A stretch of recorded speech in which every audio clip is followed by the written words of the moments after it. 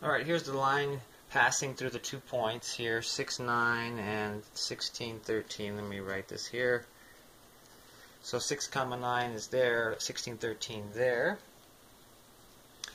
What we're after here is the linear symbolic rule that represents this line right here, uh, with the variables p and t representing the output and input respectively.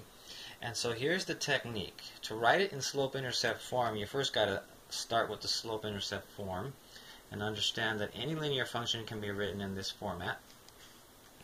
Um, not using y's and x's, but our variables given, p and t, your slope-intercept form looks like this. And to write your symbolic rule, you only need two things here. The slope, and place that there as the coefficient of the input variable, and then the vertical intercept. Well, the vertical intercept could be a problem because we'd have to estimate, but we're not going to do that.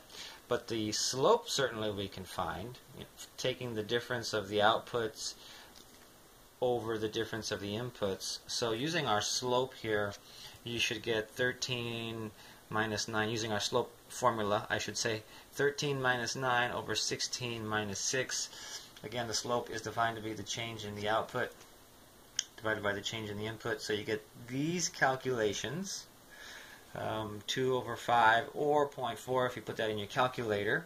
And so now we can go back and say, oh, 0.4 must be the coefficient of the input variable in our symbolic rule. And that's right. So I would recommend writing that and then asking now, what is the vertical intercept of our line? And then that part of it goes there.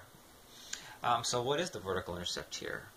Um, we could estimate, which is probably not a good idea, using this version here of 0.4 over 1 and if you put two negatives on there you don't change the value but you can at least start here and go down 0.4 and over 1 down 0.4 and over 1 that could take you a while and it's hard to guesstimate using the 0.4. If you go, and if you do two negatives here, you go down 2, that's better than over 5. 1, 2, 3, 4, 5.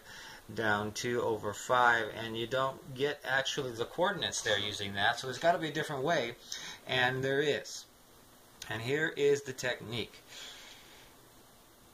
Look at, we got three missing pieces here. We have a P, a T, and a B. We want to find B, but if I knew a value for P and a value for T, I could replace those and then solve for B.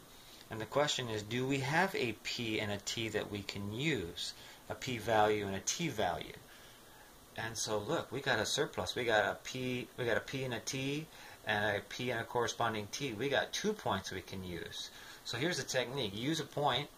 So this is a P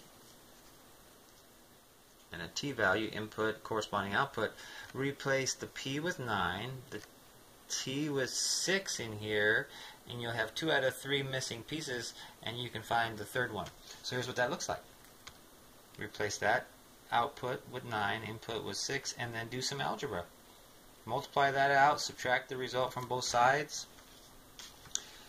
so you get 2.4. So B must be the subtraction of 9 and 2.4. So our B is 6.6 there. Isn't that amazing?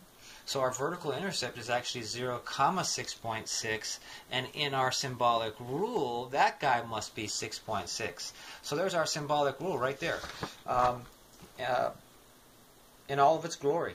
And I would say go ahead and check. Let's check with this point here and plug in a 16 into our symbolic rule and verify we get a 13 coming out of there. So I'm going to do that. I'll prove it to you. 0.4 times, what is that, 16.